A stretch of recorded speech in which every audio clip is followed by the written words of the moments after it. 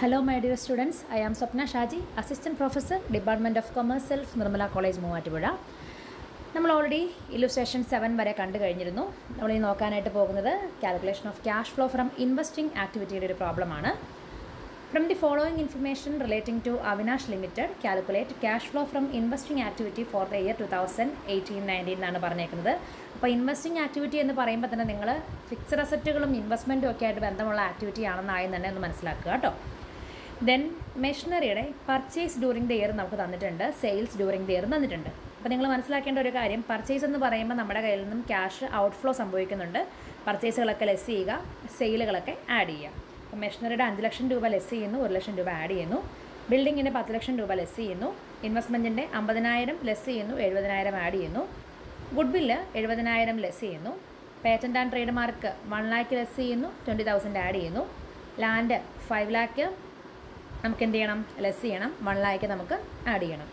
In the past company had purchased a building in the prime location the building was let out and rent receive during the year two thousand eighteen nineteen അൻപതിനായിരം. അപ്പോൾ ഇവരുടെ ബിൽഡിംഗിൽ നിന്ന് കിട്ടുന്ന rent ആണല്ലോ. അപ്പോൾ നമ്മളെ സംബന്ധിച്ച് cash inflow ഉണ്ട്. അത് നമുക്ക് ആഡ് ചെയ്യാം. Interest received on debenture held as an investment നമ്മളെ സംബന്ധിച്ച് ഇൻവെസ്റ്റ്മെന്റിന് കിട്ടുന്ന ഇൻകം ആണ്. അല്ലേ? നമുക്കത് എന്ത് ചെയ്യാം ആഡ് ചെയ്യാം.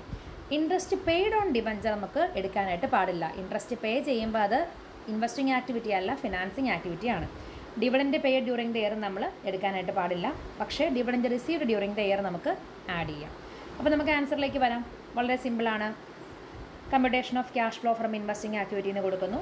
പർച്ചേസ് ലെസ് ചെയ്യാനുള്ളതാണ് അതുകൊണ്ടാണ് ബ്രാക്കറ്റ് കൊടുത്തേക്കുന്നത് കേട്ടോ. Proceeds from sale of machinery add ചെയ്യണം.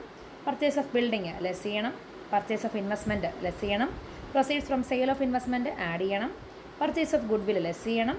Purchase of patent and trade mark less ചെയ്യണം proceeds from sale of patent and trade mark twenty thousand add ചെയ്യണം പർച്ചേസ് ഓഫ് ലാൻഡ് ലെസ് ചെയ്യണം proceeds from sale of land add ചെയ്യണം rent received add ചെയ്യണം interest received add ചെയ്യണം dividend റിസീവ്ഡും add ചെയ്യണം അപ്പോൾ നമുക്ക് എന്ത് കിട്ടുന്നു?